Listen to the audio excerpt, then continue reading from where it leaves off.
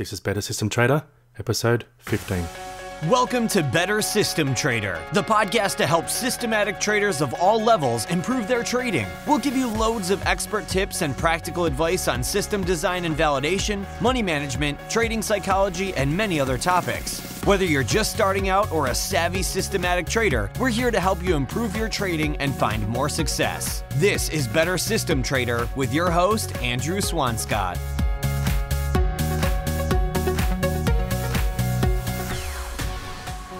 Welcome to the Better System Trader podcast. This is episode 15, and I'm your host, Andrew Swanscott.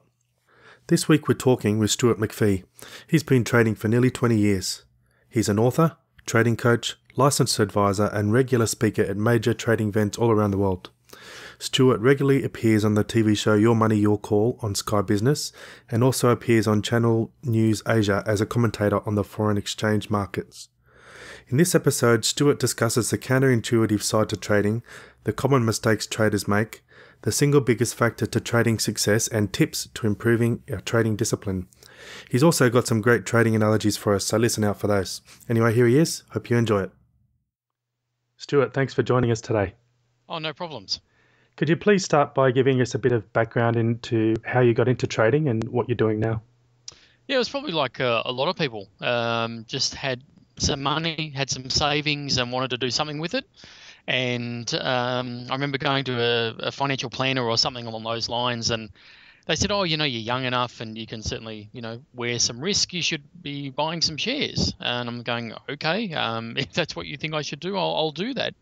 So that was sort of our first foray, but it wasn't until uh, a few years later, and we're certainly, my wife and I were doing some things with shares, but it wasn't until probably oh, maybe two or three years later that we saw an advertisement that definitely took my interest uh, because we'd been involved in the market a little bit and following companies and following shares and learning about dividends and what they were and how they impacted price and all these sort of little bits and pieces you pick up along the way. And we saw this advertisement uh, for a seminar. It was about trading, as it turned out, and absolutely I had to go along. I wanted to uh, find out what this was all about. They were talking about all this money you could make and it really, of course, you know, took my interest. So off we went along. It was probably a Saturday morning for memory, and went along to this uh, hotel seminar room and listened to this guy. And he had charts up there, and it's sort of really the first time I'd looked at serious charts.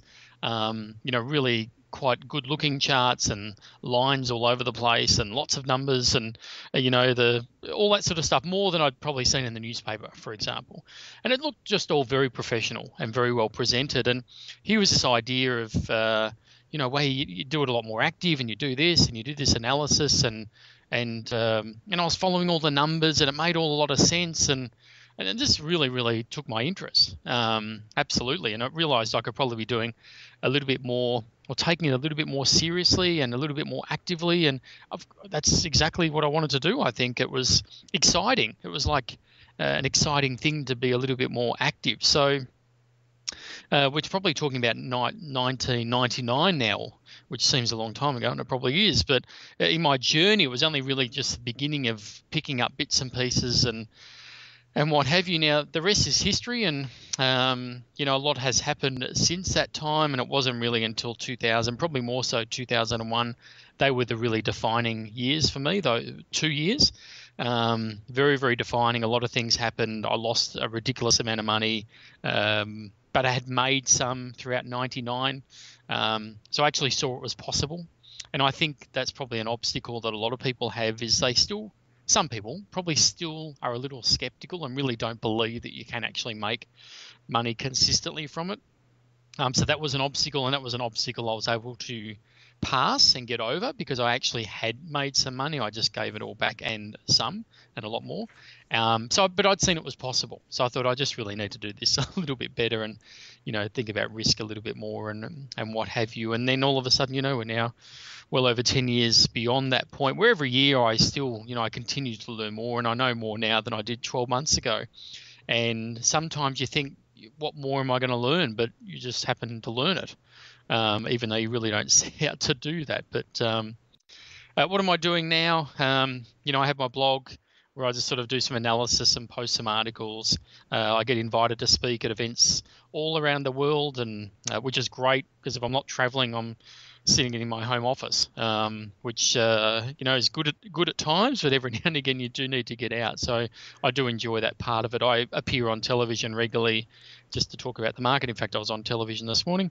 Um, uh, excuse me, throughout uh, Asia, and um, yeah, so those sort of things keep me interested. They they engage me because if I'm not talking to someone like yourself, or I'm not talking to someone, you know, running a breakfast show in Singapore, um, it's sort of a bit of a, a solitary, um, I guess, endeavor. You know, it really is, and I think a lot of people can relate to that.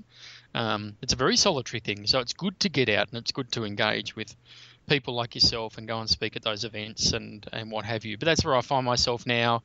You know, I've got my book, um, you know, Trading in a Nutshell, and it's fourth edition. I have my blog where I just post little bits and pieces when I sort of see fit, and uh, that's where I find myself now. Right, thanks for the background there, Stuart. So you mentioned you had to overcome some obstacles. I thought trading was supposed to be easy. trading is uh, it's not easy at all. It's really uh, quite difficult. Um, it is challenging. It, it is difficult. It is by no by any stretch uh, easy. Um, there's a, a, wonderful phrase that I love, and uh, Curtis Faith, The Way of the Turtle, from the book, where he said, um, "Trading is simple, but it's not easy." And there's a massive difference between simplicity and ease.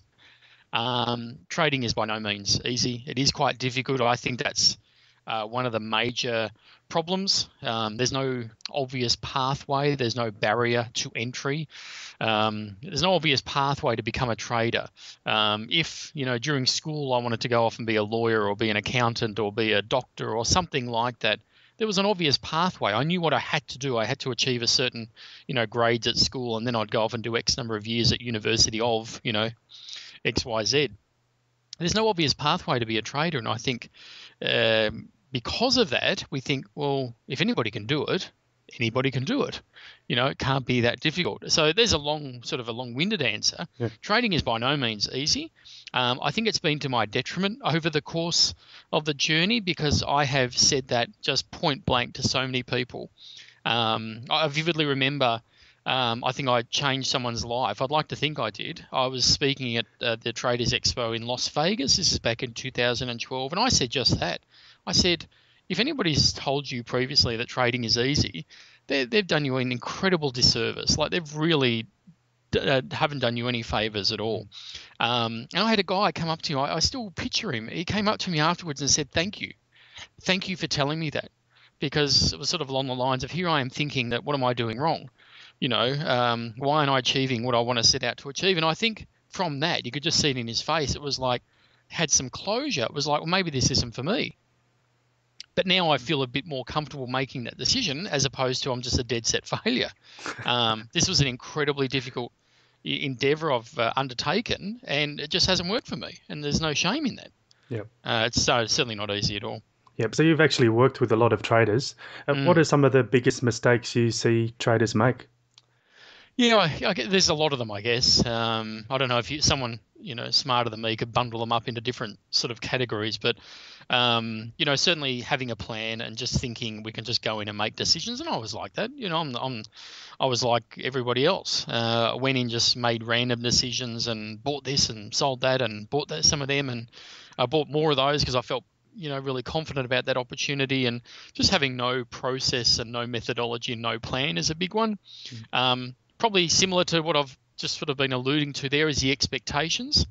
Um, it's easy to be sold and easy to be sold on the expectations out of trading is you know you can have your own private island within four weeks or you'll be you know the pictures of you sitting there with your laptop or your tablet you know on your lap as you're sitting on the beach and the you know water sort of lapping up against your legs and all that sort of stuff here i am you know selling euro and buying some gold and oh my heavens. I mean is that a dream or what? So you can be sold on that you know. Yeah. so expectations i think is a big one. Um, and not having realistic expectations you know. I think that's a massive a massive problem. Certainly emotional uh, taking it too emotionally but that's all just experience. When you have no experience it's too easy. We're only human. It's too easy to be emotionally involved in what you're doing. And then when you've got money involved, you know, money grabs at us in ways that probably not many other things can mm. and affects our emotions. Uh, tolerance to risk. People don't understand the risks they are taking if they open up a position in something. Uh, there is there is a risk uh, attached to that. Uh, they don't understand that risk. They don't uh, manage that risk, and now it's too easy to trade a leverage product. You know, when I started, it wasn't that easy to trade a leverage product. Now it is. It's too easy. You can trade currencies at 100 to 1 or or certainly beyond that if you wish. You can trade CFDs at hundreds, you know, 100 to 1 and so there's a lot of leverage and of course that's just that's risk and that's increasing the risk. So people not understanding the risk, uh, certainly trading things well beyond their tolerance to risk, and probably also along the lines of the um, you know, is it easy or difficult? Um, the fact that I've sort of stated my case that I think it is actually quite difficult. People just not spending the time to learn what they need to learn um, to actually become quite good at this, and it takes a long time. And you just don't go to a weekend course, regardless of the price tag, and come out on Sunday evening being a really, really good trader. Um, that just doesn't happen. You, you probably 10, 10 in a row and you still wouldn't be there. Mm. Um, it really does take a lot more time than anybody realizes. So just to sort of sum that all up, trading is a lot more difficult than you think when you start, and it's going to take a huge amount of time and a lot more time than you probably anticipate or could ever dream that it would take um, to be in a position where you can have some confidence and sort of consistently make some money. Thanks, Stuart. So, what issues or considerations do traders need to make uh, when first trying to find a trading style that suits them? We all have a different tolerance to risk. Some people are very happy taking on a lot of risk, taking on a lot of trades at once, trading very actively, doing a lot of things, uh, you know, in and out very actively. Others are not comfortable with that, and that's perfectly fine. That's who they are. And you can't do a lot of changing in your risk tolerance. That's one big issue. And the other one is simply time some trading styles demand a lot of your time to implement them correctly. Um, so people, you know, um, sometimes people want to trade very, very short term, but just simply don't have the time to do it. Um, and it's not because they're not mentally capable or that's not within them or they don't have the tolerance to risk. They just don't have the time to do it. So sometimes people who are very, very busy with other things are probably better suited to actually trading a little bit more longer term, not long term, but certainly more longer term than um, some other people, simply because they just don't have as much time to commit to that. But it's a very, you know, you can't, you know, I do a lot of presentations and I can't look anybody in the eye and go, this is your risk tolerance. You know, a scale of one to 10, you're a four. And the guy next to you, he's a three. You can't tell that to someone. Uh, you can't determine that. I think it's very much a, uh, it's really a, a gut feel. It's what you feel comfortable trading or not trading.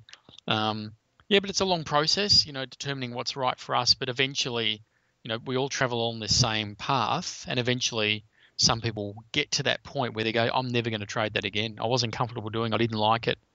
Well, okay, that's the correct answer for you. If you're not comfortable with it, then you shouldn't be trading it. It's not right for you.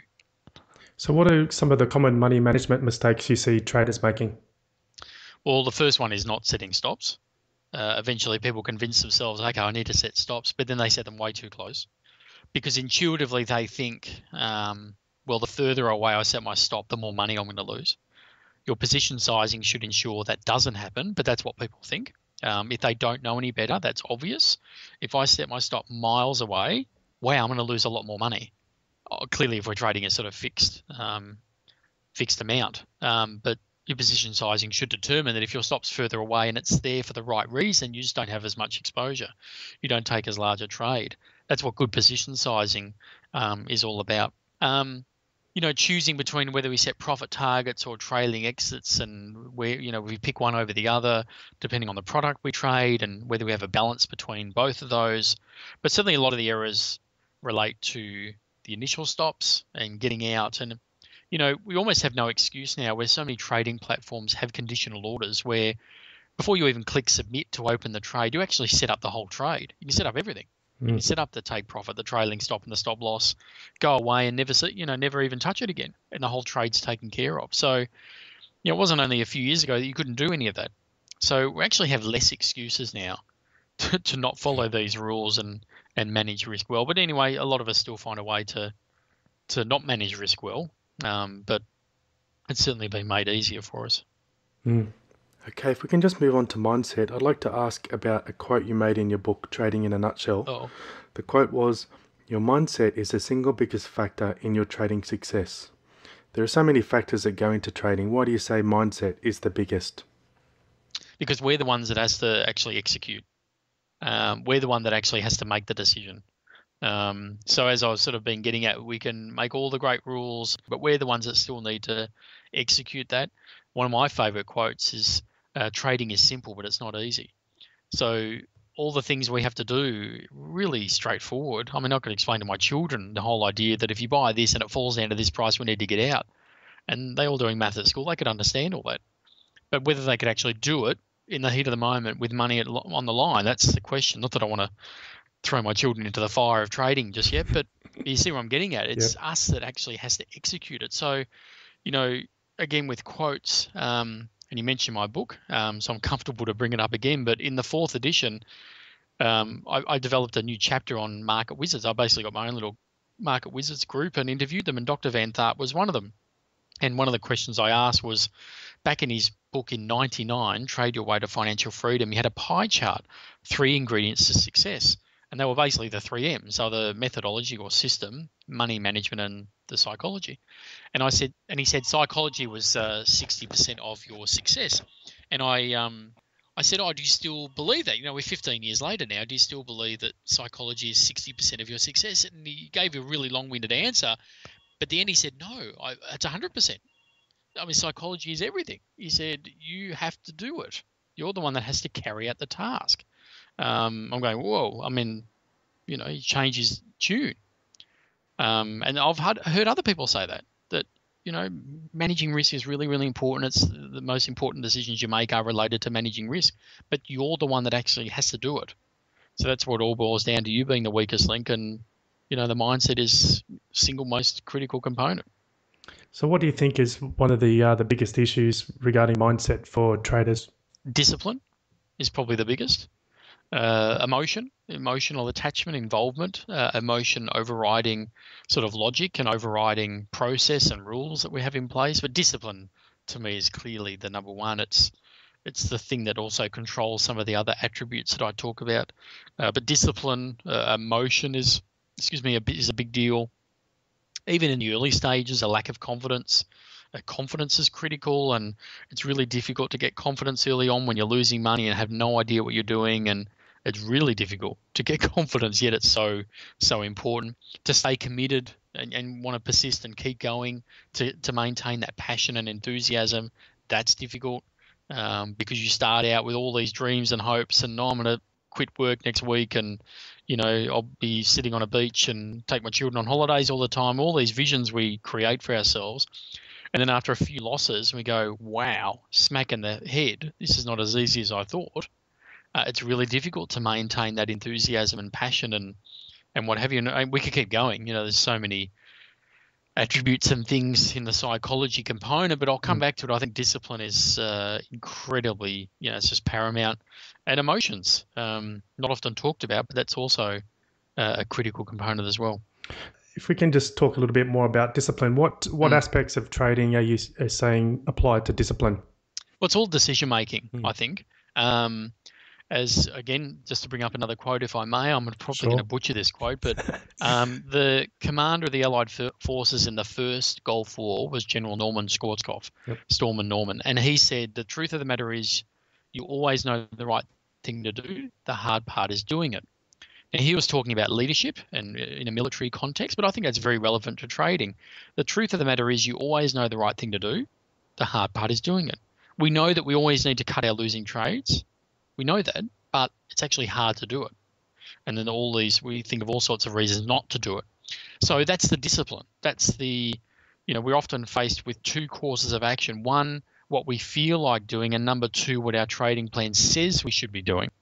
Now, it's easy to do what we feel like doing. That's the easy choice. Or forget about what we feel like doing. That's not important. What our trading plan says we should be doing is everything, and that's really important.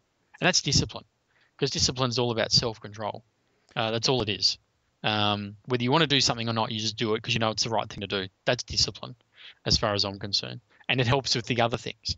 You know, how can we be committed and remain motivated and passionate if we don't have a little bit of self control? we control that because we're down in the dumps and we've lost money and we need to front up to our wife or our husband, you know, that we've just lost a bit of money. Mm. That's hard to do. I've done it. Um, unfortunately, I've done it with some large sums of money. That's really difficult to do. Um, so to maintain that enthusiasm afterwards, when you have none, you know that takes a bit of self-control to say, no, no, forget it. I'm going to just get on with this and push on, even though I really don't want to. Um, I want to, you know, get somewhere with this and achieve what I set out to achieve. That, that to me is a bit of discipline in that. So it's all about following rules. To me, trading is a rules based activity. If you want to do it well, it's very much a rules based activity. And often we require a bit of discipline to stick to the rules. Right. So if a trader is having issues with discipline, how can they address those? It's a great question and one I'm asked very, very often. And I think the unfortunately I'm going to probably give a long answer to this, but I'll try to keep it short. I, I think it's like setting New Year's resolutions. Oh, you know, one Jan's coming up. It's some superficial date that all of a sudden I'll just change my life, and I'm going to lose weight, and I'm going to do this, and I'm going to exercise, blah blah blah, and then by 15 Jan, it's all out, out the window, right? Because people were really never committed to making that change. We're very habitual creatures. We do what you know, just habit. You know, you walk in the door of your home, you probably do the same first three things all the time. Take your shoes off, or put your keys there, or put your wallet there, or take your watch off, whatever it might be. They're habitual. You don't even think about doing them. Well, we're very habitual creatures. We like to do the same things. So in trading, we actually have to sort of unlearn behaviors and retrain ourselves to do different things. So if, you, if someone said to me, right, um, well, let me come back to an analogy of the exercise if you said right, uh, you know, the start of the next first of the next month, we're going to start walking five days a week because we know we should be doing that for exercise, and of course we should be doing that. But for someone who hasn't done that, to then all of a sudden five days a week walk for 30 minutes is incredibly difficult to make that change.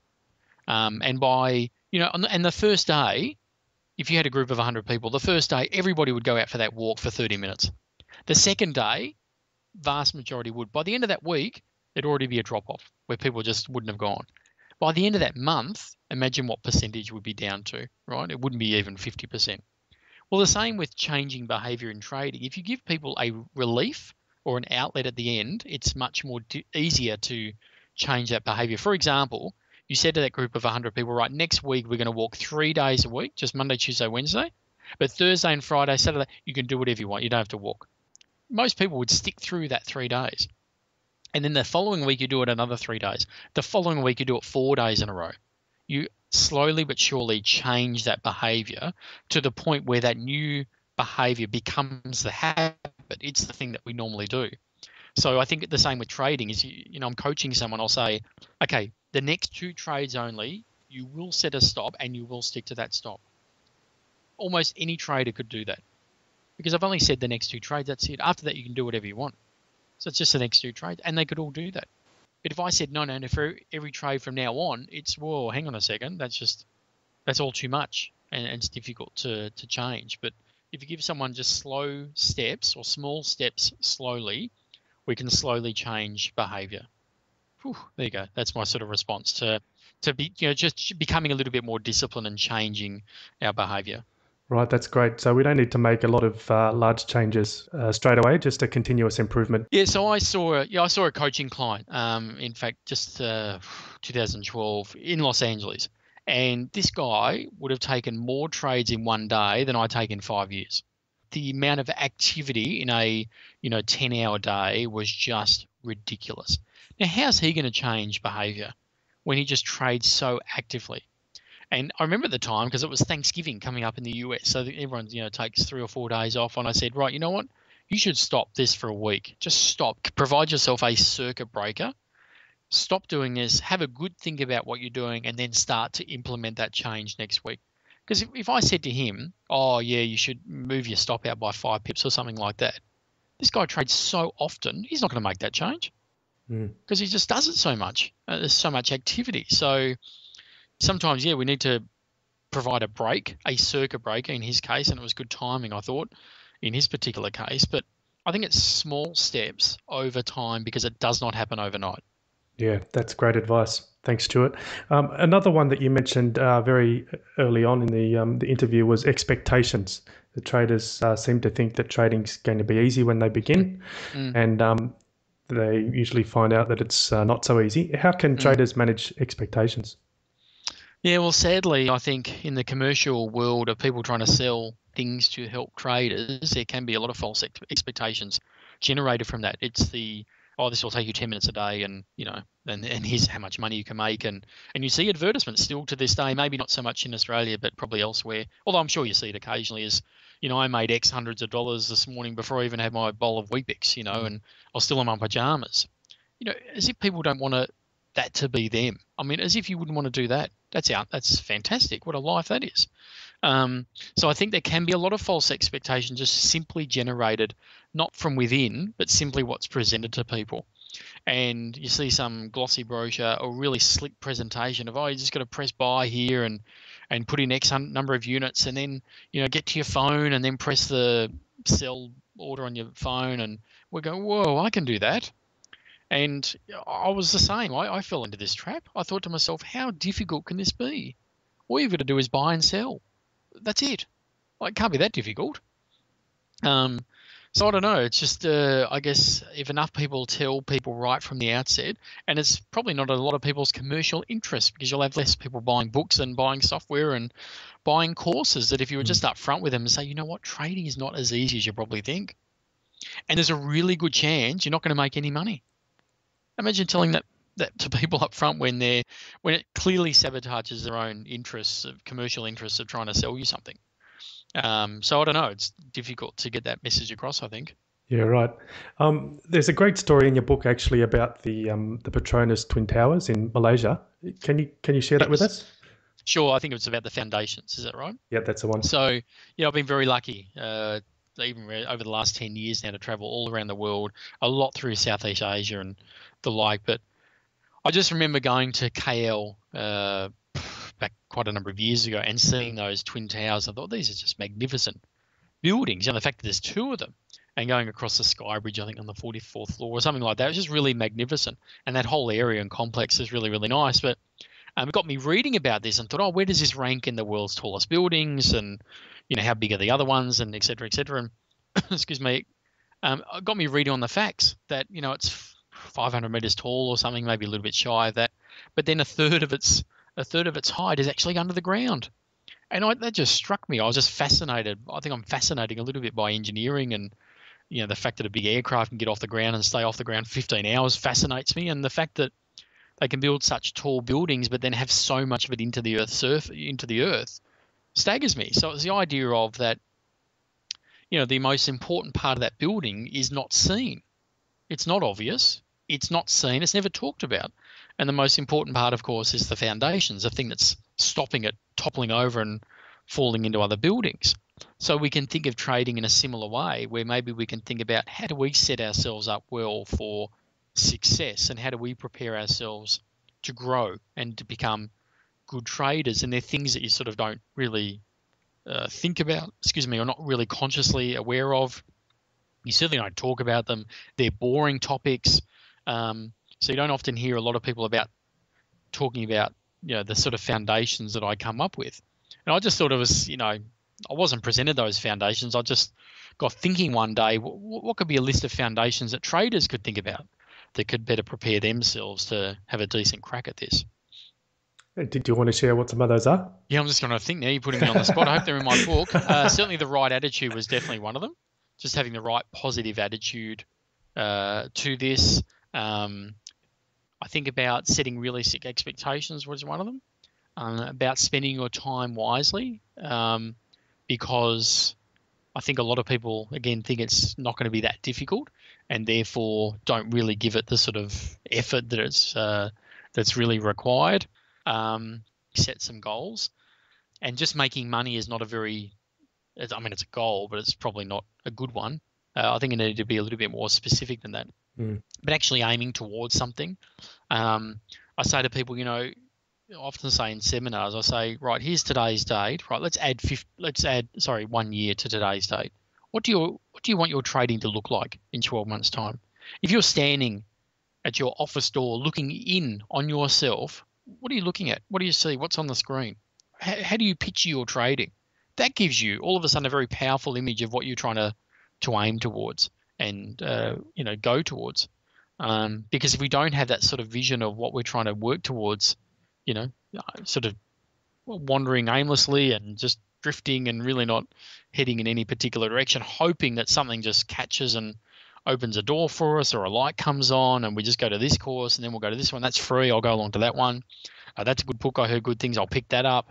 And sure enough, we're picking up pieces along the way, but unfortunately, it's not probably, we're not getting it as quickly um, and as effectively as we'd probably like. So having that sort of vision of what we're trying to aim towards, and again, that's not easy because you don't really perhaps have an idea of what sort of trader you really want to be, and you perhaps along the journey you eventually start to work some of those things out. Yeah, that's a great story. Thanks for sharing that. I think you're right that a lot of trading is not really about getting those foundations down. So I think it's good to have a think about uh, where your trading is and how those foundations could be impacting uh, your results. Yeah, and I think the I think I, I don't know if this is in the book. It's certainly in presentations I give the idea of the Chinese bamboo plant, which is a I can't remember if this is actually in the book, but I certainly talk about it being the fastest growing plant in the world. But when you first plant one, it actually doesn't grow. Like for the first three or four years, nothing happens, hmm. or so it seems. What it's actually doing is growing its foundations and its root system underground. It does this for years and then once that's ready, then its growth is just ridiculous. Um, so it's actually doing a very, very important role of establishing those foundations. Um, and if it didn't do that, then it might topple over. It may not grow as quickly, and sure, it'd grow, but not the, the rate that it actually eventually does grow. And it all comes down to sometimes sacrificing things over the short term in the pursuit of longer term objectives. Um, and we can, as humans, are very easily focus on short term and not so focused on longer term. Right. Okay. Thanks for sharing that. That's great. So I think we'll uh, wrap this up now with some um, closing questions. Okay. First one What's the biggest lesson you've learned through trading? Oh, geez. um, that I really don't know a lot. Um, I have no control over what's going on in the market. Um, what I think doesn't really matter for much or care for much. Um, you can very easily make mistakes. So I'm not giving you the biggest one here. I'm just sort of rattling some off my head. Um, that one, tr- sorry, that one trade can completely undo the 19 really good ones before it. That's been a, a, a difficult lesson for me. It's almost unfair. You you really starting to do things well and not not making all the profits, but just sorry, not all trades are, the, are profitable. You lose some along the way, but you're doing things really really well, and then one trade just blows it all up. One trade, it's like mm. unfair you think you'd have to have 10 trades to undo all that good work but um, just one trade can undo it all that that that's a really big lesson that hurts um, the big lesson maybe is that it's not as easy as you think a big lesson is basically everything we have to do is counterintuitive um, and when you're starting out, it doesn't make any sense whatsoever um, and most of the things if you do a lot of things intuitively instinctively you'll probably make a very a lot of very bad uh, trading decisions so that's probably probably a very very big lesson. Is a lot of things you have to do are counterintuitive and don't make any sense. Can you give us some examples of that?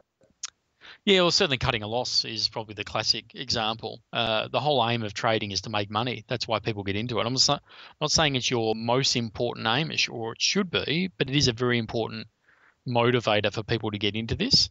And the whole idea of cutting a losing trade and realizing that loss and denying yourself the opportunity to break even in that trade makes no sense whatsoever.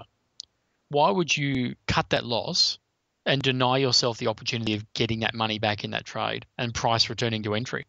Makes no sense. Why would you crystallize the loss when all you're trying to do is make money?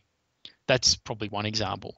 The whole idea of if you have a series of losing trades, uh, the right risk management rules say that you sort of reduce trade size. You sort of just wind back a little bit. Uh, that's counterintuitive to do that because you become desperate and think, well, I really need to make this money back, and you start to risk more and put more money into trades. It's counterintuitive to say, no, well, you need to actually reduce the size of your trades. That's counterintuitive. Um, that, there's just a couple I can think of. Uh, one, probably another obvious one is following trends. Um, why would you buy something when it's going up? Right. Everything with our shopping, the whole our sort of whole thought process is um, if it's going down and going down and going down, that's a bargain. I'm going to buy it. Whereas I never buy shares that are going down, ever. I buy them going up, but that makes no sense. Why would you buy something when it's going up? Well, because I want to buy it high and then sell it higher. But that's counterintuitive. I don't think that makes a lot of sense to people. Mm. Anyways, a few examples. Oh, great, thank you. Um, what's the best trading advice you've ever received? Uh, maybe aim for constant gradual improvement. Um, you're not going to kick any goals and home runs or whatever analogy you want to use uh, overnight. Um, that it is actually just a very long journey. That if you keep at it and do the right things, eventually it might come together. Um, best piece of advice, yeah, probably along those lines. Just a, just constant gradual improvement. Just constantly work towards uh, getting better. Uh, yeah, that's probably one that I can think of now. Okay, thanks. Uh, favorite trading book? Well, uh, there's one by John Wiley called Trading in a Nutshell. For, no, that's my book. I thought, sorry, if you don't mind me plugging that. Uh, no, favorite book clearly is uh, uh, obviously for me is Market Wizards by Jack Schwager. Yeah, that's a classic. Is by far my best trading book, and probably had the single greatest influence uh, from an educational perspective um, on my on my trading. And what's the best way for listeners to get in touch with you? Uh, just my website. Uh, it's just my name.com, stuartmcphee.com, where I just run a blog and have a lot of uh, educational videos uh, in my academy there and always trying to co- post content on what I think is important for people. So stuartmcphee.com would be the best place. Okay, great. So thanks so much for sharing your knowledge and experience with us today. Is there anything else you'd like to mention before we wrap up? No, no, I think uh, I think we've had a good session. Answered a few good questions there. Excellent. So I, I, highly recommend everyone check out Stuart's websites. They can contain loads of information on trading and trading plans. I'll add those websites into the show notes so you can find them easily. Thanks for your time today, Stuart. Oh, you're very welcome. Thanks, Andrew. Thanks, Stuart, for the chat this week. I really enjoyed the two analogies he provided talking about foundations and how they applied to trading. The first one was the towers in Malaysia, the tallest twin towers in the world. I took a look at the stats on the foundations, and at some parts they had to add concrete piles 114 metres deep, or 374 feet. That's huge. The most important part of that building, the part that anchors it and keeps it from falling over, is not even visible. Is our trading based on solid foundations like the Petronas Towers? The second analogy was the Chinese bamboo story. When you plant the seed, nothing seems to happen for one, two, three, four years. Then in the fifth year, it sprouts and grows 90 feet in six weeks. It takes time to establish those foundations, but once it's set, it really takes off. Trading can be similar to the growing process of the Chinese bamboo tree. It can often appear that no progress is being made. You know, we're doing the right things, but the results aren't coming. But for those who do the right things, are patient and persistent, the results can appear. So that's two great stories there. Thanks for sharing them, Stuart. If you want to get more information about this episode, head over to the show notes, bettersystemtrader.com slash 15. We have links to additional content if you'd like to know more about Stuart's work. We've got some great guests coming up in the following weeks too, including Jerry Parker, the most successful trader from the Turtle Trading Program, and Andrea Unger, the only trader to win the World Cup Trading Championship three times in a row. Look out for those and other huge episodes in the following weeks. Anyway, that's it for this session. I hope you enjoyed the chat with Stuart. Uh, thanks for listening to Better System Trader. Catch you next week. Thanks for listening to the Better System Trader podcast. The next step is to head over to bettersystemtrader.com for more expert tips, practical advice, and exclusive content. Catch us next time for even more great ways to improve your trading here on Better System Trader.